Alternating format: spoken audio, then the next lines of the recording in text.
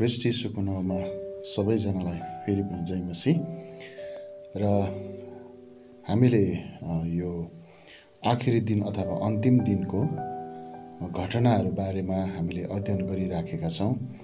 अनि यसको श्रृङ्खलाबद्ध रूपमा राखिराखेको यो हाम्रो विशेष गरेर यो शिक्षा अथवा यो श्रृङ्खलाबद्ध यो शिक्षामा आज म तपाईँहरूको अगाडि विशेष गरेर महासङ्कष्टकालको सात वर्षको महासङ्कष्टकालको बारेमा केही कुरा बताउन चाहन्छु। र योभन्दा अगाडि हामीले मण्डलीको युगको समाप्तपछि मण्डलीको आनन्दित अलप अथवा उठाइ लगिने स्वर्ग यात्रा हुन्छ भनिकन हामीले चर्चा गरिसकेका छौँ। अनि सँगसँगै हामीले जब हामीहरू ख्रिससँग स्वर्गमा हुन्छौँ अनि स्वर्गमा हुने दुईवटा कार्यलाई पनि हामीले त्यहाँनिर याद गरिसकेका छौँ।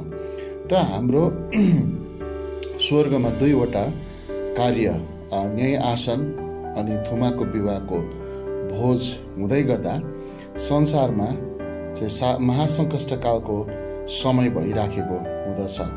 अनि महासङ्कष्टकालको समय चाहिँ सात वर्षको हुनेछ र यसले पुरै संसारलाई असर पार्नेछ। जब परमेश्वरले उहाँको क्रोध र न्याय पापको पापीहरूको र पृथ्वीको विरुद्धमा खन्याउनु हुनेछ।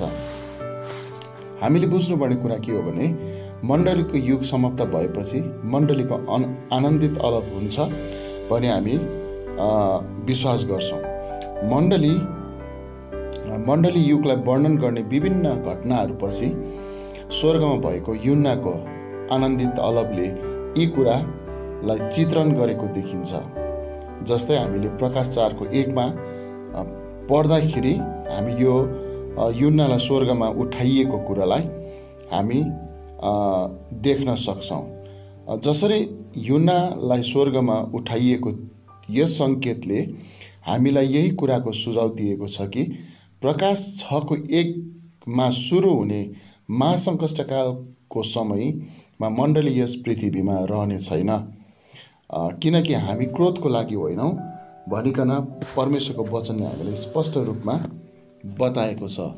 हामीहरू पहिलो थिस्लोनिकी पाँचको नौ पदमा यसरी पढ्छौँ किनकि परमेश्वरले हामीलाई क्रोधको निम्ति होइन तर हाम्रो प्रभु येशू ख्रिसद्वारा मुक्ति पाऊँ भनी प ठहराउनु भएको छ।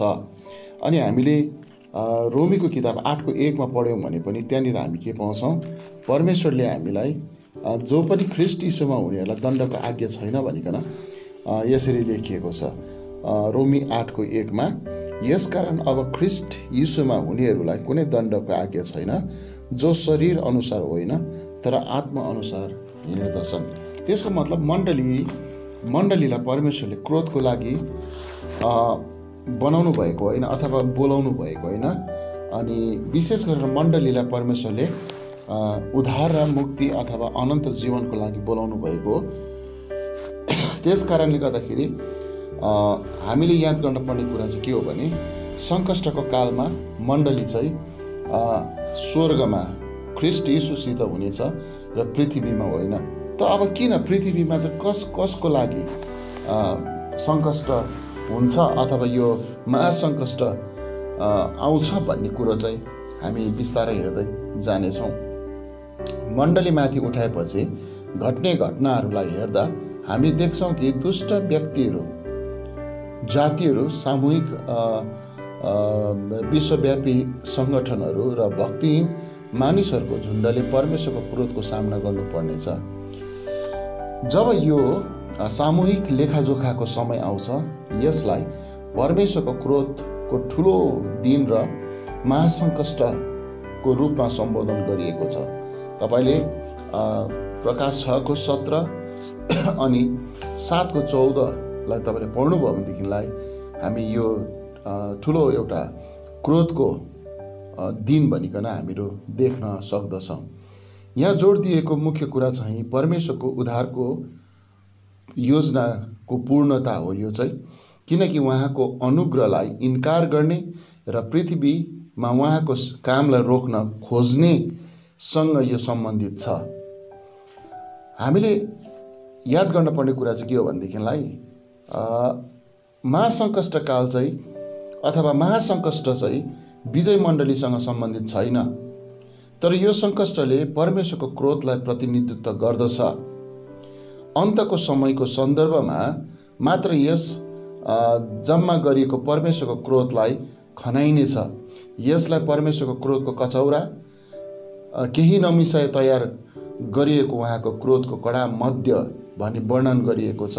तपाईँले प्रकाशको किताब चौधको दसमा पढ्नुभयो भनेदेखिलाई तपाईँले त्यहाँनिर यो कुरा पाउनुहुनेछ।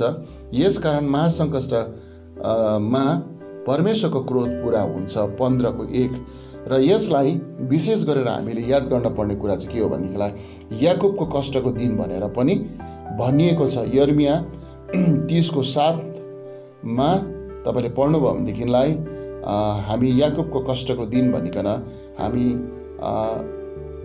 देख्न सक्छौँ। विशेष गरेर यो महासङ्कष्टकाल चाहिँ अथवा यो महासङ्कष्टको युग चाहिँ विशेष इजरायलमाथि अथवा परमेश्वरले चुन्नुभएको जातिमाथि विशेष यसको केन्द्रबिन्दु चाहिँ त्यहाँनिर हुनेछ। अनि यस कारणले गर्दाखेरि यो चाहिँ मण्डलीसँग सम्बन्धित यीशु ख्रिस्टको उद्धारलाई अथवा यीशु ख्रिस्टको अनुग्रहलाई जसले ग्रहण गरेको छ उस ऊमाथि चाहिँ यो महासङ्कष्टकाल अथवा यो क्रोधको परम परमेश्वरको क्रोधको दिन भनिकन भनिएको कुरा चाहिँ यो विशेष गरेर मण्डलीमा चाहिँ अथवा ख्रिस्टलाई ग्रहण गर्ने विषयमा चाहिँ उनीहरू त्यहाँ पर्ने छैन भन्ने कुरोलाई हामीहरू बाइबल अनुसार देख्न सक्दछौँ। अब अलिकति हामीले यसलाई मण्डली शब्दको प्रयोगलाई पनि हामी अलिकति ध्यान दिउँ दियौँ भनेदेखिलाई प्रकाशको पुस्तक तपाईँले एकदेखि तिन अध्यायसम्म पढ्दै गर्दाखेरि त्यहाँनिर हामी के पाउँछौँ भनेदेखिलाई मण्डली शब्द चाहिँ सातपल्ट र मण्डलीहरू भनेर मण्डलीहरू भनेर यो शब्द छ मण्डलीहरू शब्द बाह्रपल्ट प्रयोग गरिएको छ। यद्यपि प्रकाश चारको एकमा यहाँ यसरी लेखेको छ यी कुरापछि हेर मैले हेरेर हेर स्वर्गमा एउटा खुल्ला ढोका देखेँ। अब मसँग बलिरहेको पहिलो आवाज तुरहीको स्वर जस्तो। यसो भनेको मैले सुने यतामाथि आऊ र अब त्यसपछि हुन आउने कुराहरू म तिमीलाई देखाउनेछु। अब यो घटनालाई हामीले हेर्दै गर्दा युन्ना उठाएपछि अथवा युन्ना स्वर्गमा उसलाई लगिएपछि जबसम्म त्यहाँदेखि यता हामीहरू मण्डलीको शब्दलाई चाहिँ प्रकाशको बाइसको सोह्रमा सम्बोधन गरिएको छ। मतलब चार अध्याय अथवा पाँच अध्यायदेखिको उता हामीहरू बाइसको सोह्रभन्दा अघिसम्म हामी मण्डली प्रयोग मण्डली शब्द प्रयोग नगरिएको कुरोलाई हामी पाउँदछौँ। यसैले गर्दाखेरि महासङ्कष्टकालको समयमा मण्डली पृथ्वीमा हुन्छ भन्ने सम्बन्धमा यी कुरा यी कुनै पनि पदहरूले सङ्केत दिएका छैनन्। यो कष्टको समय अवधिमा मण्डलीको उपस्थितिलाई उल्लेख नगरिएको हुनाले यस समय मण्डली पृथ्वीमा रहने छैन भन्ने कुराको सङ्केत हुन्छ। यस खण्डले सङ्केत दिन्छ कि मण्डलीको आनन्दित अलप महासङ्कष्ट सुरु हुनुभन्दा पहिले नै हुन्छ। र यहाँनिर हामीले बुझ्नुपर्ने कुरा के हो भनेदेखिलाई जब पनि हामीहरू बाइबललाई राम्रोसँगले अध्ययन गऱ्यौँ भने हामीहरू बाइसको छ पद यहाँनिर यसरी सोह्र पदमा यसरी लेखिएको छ मण्डलीहरूका निम्ति यी कुरा तिमीलाई साक्षी दिनलाई म येसुले आफ्नो दुध पठाएको हुँ। म दाउदको जरा र सनातन जरा र सन्तान बिहानको चम्किलो तारा हुँ। यो मण्डलीहरू भन्ने शब्द यहाँ आएर मात्र फेरि देखा परेको छ अथवा प्रयोग भएको छ। यसको मतलब महासङ्कष्टको कालमा मण्डली पृथ्वीमा रहने छैन। यसले गर्दाखेरि हामीले याद गर्नुपर्ने कुरा के हो भने तपाईँले मैले थाहा गर्नुपर्ने कुरा के हो भने अनि हामी तयार हुनुपर्ने कुरा चाहिँ के हो भनेदेखिलाई स्वर्ग यात्रा अथवा उठाइ लगिने अनि यसलाई हामी हाम्रो बुझ्ने भाषामा ऱ्याप्चर भनेर भन्छौँ अनि यसलाई नेपालीमा अन आनन्दित अलप अथवा आनन्दित अलप भनेको चाहिँ एकदमै अचानक झट्टै हराउने अलप अल्पिने कुरोलाई हामी देख्दछौँ अनि त्यो कुरोमा हामी तयार हुनु जरुरी छ। अब यो चाहिँ महासङ्कष्टकाल चाहिँ के को लागि? कुन उद्देश्यको लागि महासङ्कष्टकाल हुन्छ भन्दै गर्दा चाहिँ पापलाई न्याय गर्न परमेश्वरको विश्वास योग्यताको प्रदर्शन गर्न। पापलाई न्याय गर्न परमेश्वरको विश्वास योग्यतालाई प्रदान गर्न प्रदर्शन गर्नका लागि देखाउनका लागि यो सङ्कष्टकालको अवधि हुन जरुरी छ। पुरानो करार र नयाँ करारको भविष्यवाणी पुरा गर्न। महासङ्कष्टकालको विषयमा अथवा यो दुःखको समय याकुबको कष्टको दिन भनेर भनिएको कष्टको समय भनेर भनिएको यो अवधि चाहिँ पुरानो करार अनि नयाँ करारमा गरिएको भविष्यवाणी पुरा गर्नको लागि पनि यो यो महासङ्कष्टको समय आउन जरुरी हुन्छ। अनि यति बेला विशेष गरेर इजरायलको छुटकाराको काम पुरा हुनेछ। अथवा यो चाहिँ विशेष गरेर इजरायलीहरूको। उनीहरूले प्रभु यीशु ख्रिस्टको पहिलो आगमनलाई उनीहरूले के गरेन? ग्रहण गरेन। त्यस कारणले गर्दाखेरि परमेश्वरले अब्रामद्वारा बोलाउनु भएको अब्रामद्वारा सुरु गर्नुभएको जाति जसलाई चाहिँ परमेश्वरले आफ्नो जाति भनेर भन्नुभएको छ त्यो जातिलाई छुटकारा गर्न पूर्ण रूपमा छुटकारा गराउने काम चाहिँ यो महासङ्कष्टकालको समयमा पुरा हुनेछ। अनि पापलाई दण्ड र अधार्मिकतालाई न्याय भनेर गरेर पृथ्वीमा राजा भई राज्य गर्न उधार नपाएका यहुदी र अन्य जातिहरूलाई तिनीहरूको पश्चाताप गरेर परमेश्वरमा फर्कन्छन् भनी जाँच गर्नलाई यो महासङ्कष्टकालको समय अवधि यो सात वर्षको समय हुनेछ भनिकन हामी यहाँनिर देख्दछौँ।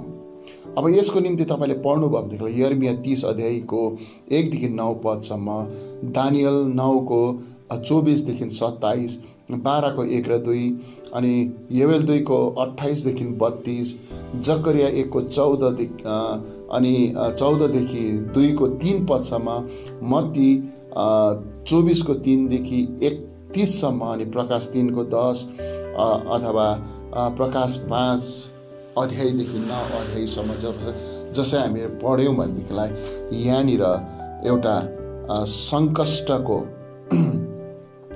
कुराहरू विशेष गरेर हामी यहाँनिर देख्दछौँ। अब यो महासङ्कष्टकाललाई दुई भागमा विभाजन गरिएको छ। अनि त्यो दुई भाग चाहिँ पहिलो साढे तिन वर्ष अनि दोस्रो साढे तिन वर्ष। अब पहिलो साढे तिन वर्षमा चाहिँ के हुन्छ भनेर जब हामीहरू हेऱ्यौँ भनेदेखिलाई पहिलो साढे तिन वर्षमा चाहिँ त्यहाँनिर इजरायलसँग अथवा परमेश्वरका लोकहरूसँग त्यो समय अब हामीहरू अलिकति प्रकाशको तेह्र अध्याय अनुसार एउटा त्यहाँनिर एउटा पशु है त्यहाँनिर एउटा यस्तो खालको एउटा पशु निस्केको कुरा हामी थाहा पाउँछौँ जसलाई ख्रिस्ट विरोधी भनिकन हामी भन्छौँ एन्टी क्राइस्ट भनिकन भन्छौँ। अनि यो खण्डलाई पढ्दै गर्दाखेरि हामीहरू यहाँ तल पाँच पदमा हामी के देख्छौँ औ त्यसलाई अहङ्कारी कुरा बोल्ने र ईश्वर ईश्वर निन्दा गर्ने मुख दियो। औ त्यसलाई बयालिस महिनासम्म काम गर्ने अख्तियार मिल्यो। अब यहाँनिर हामीहरू योभन्दा अगाडि हामीले अरू अध्यायहरूमा छ सात आठ नौ दस एघार बाह्र अध्यायमा हेऱ्यौँ भनेदेखिलाई विशेष गरेर छ अध्यायदेखि हामीहरू महासङ्कष्टकालको सुरुवातको घटनाहरू हामी देख्दछौँ। अनि त्यति बेला चाहिँ के हुन्छन् भनेदेखिलाई पृथ्वीमा मानिसहरू सधैँ झै नै अहिले जस्तो छ त्यस्तै प्रकारले मानिसहरूले आफ्नो जीवन बिताइराखेका हुन्छन्। तर मण्डली पृथ्वीमा नभएको कारणले गर्दाखेरि स्वर्गबाट सातवटा छापहरू खोलिने छन् त्यो समयमा। सातवटा छापहरूमा चाहिँ के हुन्छ भनेदेखिलाई जब पहिलो छाप खोलिन्छ अनि पहिलो छाप खोलिँदाखेरि चाहिँ हामी देख्छौँ त्यहाँ अस्थायी शान्ति एकदमै त्यहाँनिर शान्ति हुँदैन। है त? त्यहाँनिर एकदमै उहाँले पहिलो छाप खो अब यहाँनिर हामीहरू छ अध्यायमा हामी पढ्दैछौँ म पढ्दैछु छ अध्यायको एकदेखि। अनि जब थुमाले ती सातमध्ये एउटा छाप खोल्नुभयो तब मैले हेरेँ र ती चारमध्येका एउटा जीवित जीवतले गर्जनको आवाज जस्तै आऊ भनेको मैले सुने। औ मैले हेरेर सेतो घोडा र त्यसमाथि बस्नेले एउटा धनु लिएको मैले देखेर त्यसलाई एउटा मुकुट पनि दियो औ तिनी विजय गर्दै विजय गर्नलाई निस्के। अब यहाँनिर एउटा सेतो घोडा भन्ने एउटा सेतो घोडामा चढेको एउटा व्यक्तिलाई अथवा एउटा एउटा नक्सालाई देखाएको छ। अनि धेरैचोटि हामी के देख्छौँ भनेदेखिलाई सेतोले जहिले पनि एउटा शान्तिलाई शान्तिको प्रतीक हुन्छ। अनि यहाँनिर घोडामा चढ्ने मान्छेलाई एउटा धनु दिएको छ अनि धनु लिएको छ अनि अर्को चाहिँ उसलाई एउटा मुकुट पनि दिएको छ। धेरैजनाले चाहिँ यस यो व्यक्तिलाई यीशु ख्रिस्ट हो भनिकन पनि भन्ने गर्छन् तर बाइबललाई राम्रोसँगले हामीले यो खण्डलाई अध्ययन गऱ्यौँ भनेदेखिलाई यो सातवटा छापहरू खोलिँदै गर्दा पहिलो छापमा आउने अस्थायी शान्तिको बारेमा विशेष गरेर यो घटनाले बताउँदछ। अब अर्को कुरा चाहिँ दोस्रो छाप खोलिँदाखेरि चाहिँ के हुन्छ भनेदेखिलाई जब अब जब उहाँले दोस्रो छाप खोल्नुभयो तब दोस्रो जीवित जीवतले मलाई आऊ भनेको भनेको मैले सुने। अब अर्को एउटा उज्जवल रातो घोडा निस्केर आयो र एउटाले अर्कोलाई काटमार गराई पृथ्वीबाट शान्ति हरण गर्ने र गर्ने अख्तियार त्यस घोडामाथि चढ्नेलाई दियो र तिनलाई एउटा ठुलो तरवार दियो। अब यसले चाहिँ एउटा युद्धको एउटा प्रतीकलाई जो अघि अस्थायी शान्तिको प्रतीकलाई देखाएको छ त्यो सबै शान्तिलाई चाहिँ के गर्ने गर्न गइराखेको छ। शान्तिलाई हरण गर्न गइराखेको छ अनि त्यहाँनिर चाहिँ एउटा ठुलो युद्ध सुरु भएको छ अथवा युद्ध आएको छ। अनि अर्को कुरा चाहिँ जब हामीहरू हेर्छौँ जब तेस्रो छाप उहाँले खोल्नुभयो तब तेस्रो चाहिँ जीवित जीवातले आऊ भनेको मैले सुने। औ मैले हेरेर एउटा कालो घोडा देखेर त्यसमाथि बस्नेको हातमा एउटा तराजु थियो। औ मैले यी चार जीवित जीवतको बिचमा एउटा यसो भन्ने आवाज सुने। एक दिनारको एक क्रोनिक्स गाउँ र एक दिनारको तिन क्रोनिक्स जाउँ। औ तेल र दाख मध्य लाई चाहिँ हानि नगर्नु अथवा यो यो दृष्टिकोणले यो यो नक्साले चाहिँ पृथ्वीमा आउँदै गरेको अनिकालको भागलाई देखाउँछ अनिकाललाई देखाउँदछ। अनि तेस्रो जब पृथ्वीमाथि आइपरेका त्यो दुर्दशाहरूमा यस्तो भयङ्कर अनिकाल आउँछ अनि त्यो अनिकालको नक्सा चाहिँ यो तेस्रो छाप खोलिँदै गर्दाखेरि हामी देख्दछौँ। अनि त्यस पछाडि उहाँले अर्को छाप उहाँले चौथो छाप खोल्नुभयो। अनि त्यति बेला चाहिँ के भएको छ भनेदेखिलाई अब मैले हेरेर पहेँलो घोडा देखेर त्यसमाथि चढ्नेको नाउँ चाहिँ मृत्यु थियो अब पातल चाहिँ त्यसको पछि पछि लागेको थियो। अब पृथ्वीको चौथो भागमाथि तरवार अनिकाल र रुडी र पृथ्वीलाई जङ्गली जनावरहरूद्वारा मार्ने अख्तियार त्यसलाई दियो। मृत्युका कुराहरू। पृथ्वीमा यस्तो डरलाग्दो मृत्युका कुराहरू त्यहाँनिर आइराखेको कुराहरू हामी देख्दछौँ। अब यो चाहिँ वास्तवमा यो सबै कुराहरू चाहिँ परमेश्वरको क्रोध खनिएको कुराहरू। पृथ्वीमा भएका मानिसहरूलाई क्रोध खनिएको कुरो। यो साढे तिन वर्ष पहिलो साढे तिन वर्षको अवधिमा हुँदै गरेका कुराहरू हुन्। यस कारणले गर्दाखेरि हामीले याद गर्नुपर्ने कुरा के हो भनेदेखिलाई अब त्यस पछाडि पाँचौँ छाप खोल्दै गर्दाखेरि सतावट छैटौँ छाप खोल्दै गर्दाखेरि विनाशका कुराहरू अनि सातौँ छाप खोल्दै गर्दाखेरि चाहिँ फेरि पनि अर्को एउटा घटना अर्को एउटा तुरही सातवटा तुरहीहरू फुकिने एउटा परमेश्वरको क्रोध पृथ्वीमा खनिने काम त्यति बेला हुनेछ पहिलो साढे तिन वर्षमा। अनि पहिलो साढे तिन वर्षमा चाहिँ के हुन्छ भनेदेखिलाई ख्रिस्ट विरोधीले चाहिँ इजरायलसँग चाहिँ त्यति बेला शान्तिको सन्धि गरेको हुन्छ। जुन शान्तिको सन्धिमा चाहिँ त्यति बेला के हुन्छ भनेदेखिलाई इजरायलले चाहिँ विशेष गरेर जब हामीहरू मत्तीको चौबिस अध्यायमा अनि मा पढ्यौँ भनेदेखिलाई हामी त्यहाँ के पाउँछौँ भनेदेखिलाई घृणित कुरा जब तिमीले त्यहाँ मन्दिरमा अथवा यहाँ यसरी लेखिएको छ दानियलको किताब बाह्रको एकमा पनि हामी यो कुरालाई पाउँदछौँ अनि प्रकाशको साथको चौध पदमा पनि हामी यो कुरालाई पाउँदछौँ। अनि यहाँ के भन्दैछ भनेदेखिलाई यसकारण जब तिमीले दानियल अगमवक्तबाट बोलेको उजाड गर्ने घृणित कुरा पवित्र स्थानमा खडा भएको देखाउला। जुन समय चाहिँ यस्तो खालको समय हुन्छ अनि त्यो चाहिँ के हो भनेदेखिलाई जब ख्रिस्ट विरोधीले यरुसलेमको मन्दिरमा अथवा जुन मन्दिर चाहिँ सत्तर एडीमा रोबी साम्राज्यबाट नष्ट गरिएको छ अनि त्यो अहिलेको समयमा हामीले हेऱ्यौँ भनेदेखिलाई थुप्रो मन्दिर बनाउने एउटा क्रम चलिराखेको छ थुप्रो कुराहरू भइराखेको छ। अनि यो कुराहरू जब पुरा हुन्छ अनि यो कुरा पुरा हुँदै गर्दाखेरि चाहिँ त्यो जग्गामा चाहिँ ख्रिस्ट विरोधी आउँछ। अनि ख्रिस्ट विरोधीलाई चाहिँ त्यति बेला इजरायलीहरूले चाहिँ उनीहरूको मसिहा अथवा छुटकारा दिने राजा भनिकन उनीहरू त्यो व्यक्तिसँग मिल्न जान्छ अनि शान्ति सम्झौता गर्छ मन्दिरको पुनर्निर्माण हुन्छ अनि त्यो समयमा थुप्रै परमेश्वरले थुप्रो प्रकारको कार्यहरू गर्नुहुन्छ अनि त्यसमा विशेष गरेर एक लाख चौवालिस हजारलाई त्यहाँनिर छाप लगाउने काम पनि गरिएको हामी देख्दछौँ। अनि अर्को कुरो चाहिँ दुईवटा साक्षीहरू है हामीहरू बा एघार अध्यायमा हामीले पढ्यौँ भने दुईवटा साक्षीहरूको बारेमा हामीहरू पाउँदछौँ। अनि त्यस पछाडि त्यहाँनिर एक लाख चौवालिस हजारलाई त्यहाँनिर उनीहरूले परमेश्वरको तर्फबाट के गरिन्छ छाप लगाइन्छ। किन चाहिँ भन्दाखेरि उनीहरूले चाहिँ त्यो समयमा त्यो पहिलो साढे तिन वर्षको समयमा उनीहरूले सुसमाचारको काम गर्नुपर्ने हुन्छ। यस कारणले गर्दाखेरि त्यो समयमा सातवटा छापहरूको प्रकोप आउँदै गरेको हुन्छ।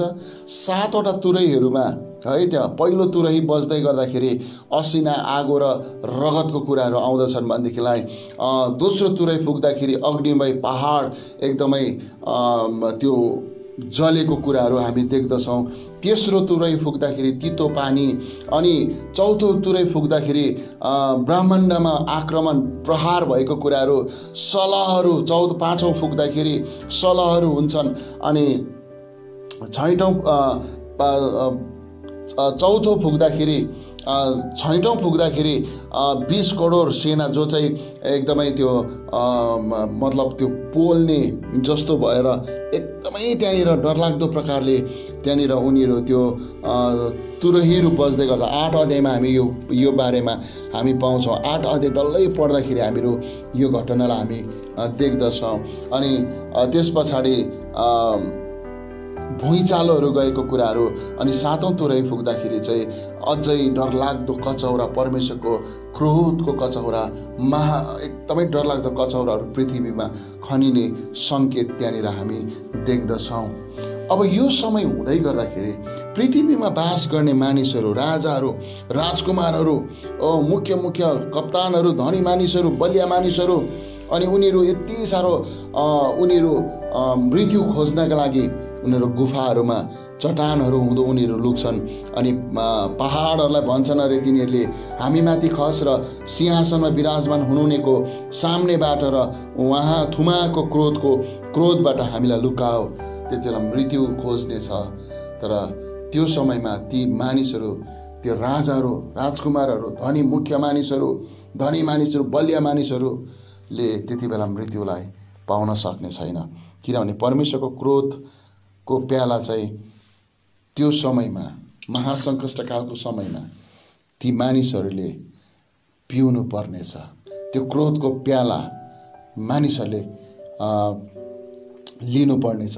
त्यस पछाडि दोस्रोमा दोस्रो साढे तिन वर्ष चाहिँ के हुन्छ भनेदेखिलाई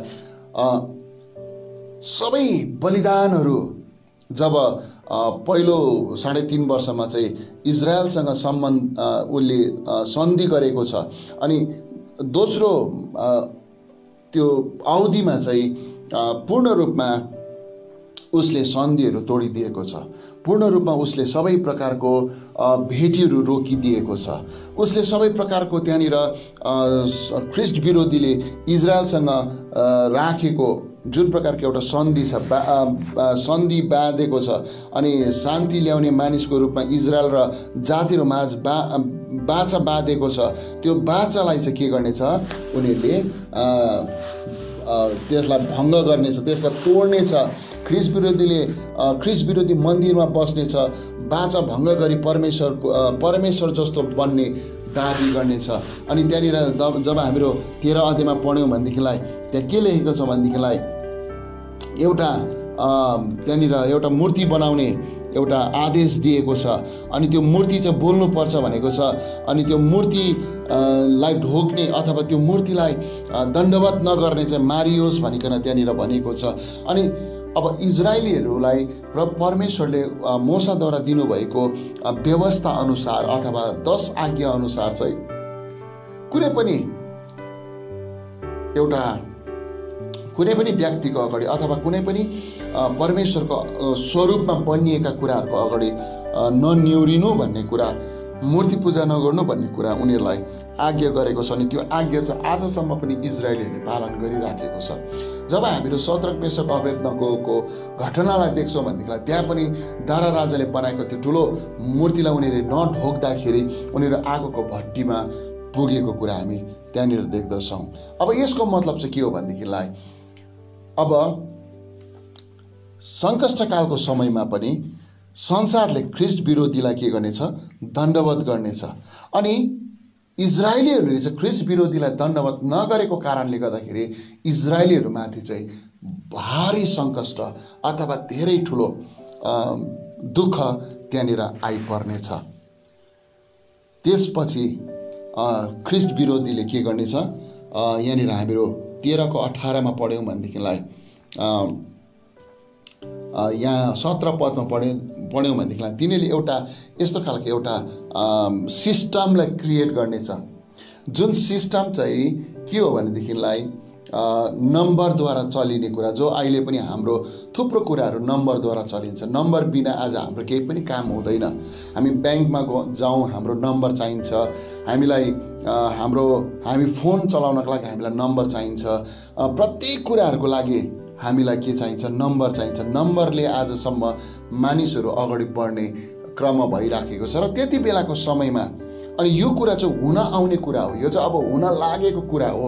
अनि यो कुराहरूमा चाहिँ के छ भनेदेखिलाई कि त्यति बेला चाहिँ त्यो सङ्ख्या जसकोमा छैन अथवा त्यो नम्बर जसकोमा छैन त्यसले किनबेच नगरोस् भनेर भनिएको छ। अनि त्यसको सङ्ख्या चाहिँ कति हो भनेर भनेको छ भनेदेखिलाई छ सय छयासठी अथवा ट्रिपल सिक्स जो हामीले धेरै धेरैबाट हामी यो कुराको बारेमा हामी सुनिराखेका हुँदछौँ।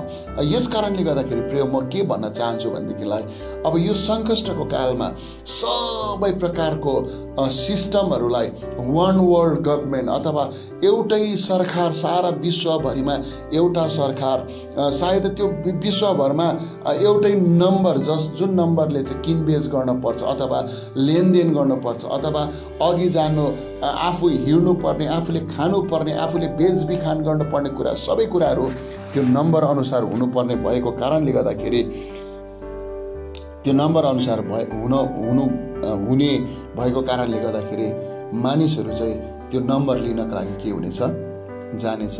तर जसले त्यो नम्बर लिँदैन है मैले अघि पनि भने संसारले क्रिस्ट विरोधीलाई दण्डवत गर्नेछ। छ सौ छ्यासठको चिन्ह अथवा जसले ट्रिपल सिक्सको चिन्हलाई अस्वीकार गर्छ तिनीहरू चाहिँ के गर्नेछ मारिनेछ। र यति बेला चाहिँ धेरैजना मैले अघि नै भने दुई साक्षीबाट अनि एक लाख चौवालिस हजारबाट त्यति बेला सुसमाचार प्रचार गरिनेछ। अनि त्यति बेला यो पवित्र आत्माको शक्तिशाली खनाइ अथवा पवित्र आत्मा त्यति बेला शक्तिशाली रूपमा मानिसहरू कहाँ आउनुहुनेछ। अनि त्यो समयमा धेरैजनाले प्रभु यीशु ख्रिस्टलाई विश्वास गर्नेछन्। तर ऱ्याप्चर भइसकेको अथवा स्वर्ग यात्रा भइसकेको कारणले गर्दाखेरि उनीहरू चाहिँ जो चाहिँ त्यो अवधिमा सात वर्षको महासङ्कष्टको अवधिमा प्रभुलाई विश्वास गरेका छन् तिनीहरू चाहिँ विशेष गरेर यो महासङ्कष्ट भएर उनीहरू अगाडि बढ्नुपर्नेछ अनि धेरै पवित्र जनहरू जो यीशुलाई विश्वास गरेको छ जसले छ सौ छ्यासठलाई इन्कार गर्दछ ती मानिसहरू चाहिँ के हुनुपर्नेछ शहीद हुनुपर्नेछ अनि दोस्रो अवधिमा जब यो घटना हुँदै गर्दाखेरि स्वर्गबाट पनि त्यति बेला सातवटा कचौराहरू क्रोधको सातवटा कचौराहरू त्यहाँनिर पोखाइनेछ अथवा घोप्ट्याइनेछ जसमा चाहिँ पीडादायक घाउ खटिराहरू पहिलो कचौरामा त्यस्तो प्रकारको त्यो चाहिँ संसारका मानिसहरूलाई हुनेछ। पृथ्वीमाथि सात अन्तिम महामारीहरू खनिनेछ रगतको समुद्र हुनेछ रगतको नदीहरू हुनेछ असहायता यति साह्रो गर्मी त्यति बेला चौथो कचौरा घोप्ट्याउँदाखेरि हुनेछ। अन्धकार र असहाय पीडा पाँचौँ कचौरा पोखाउँदाखेरि त्यो खन्याउँदाखेरि हुनेछ।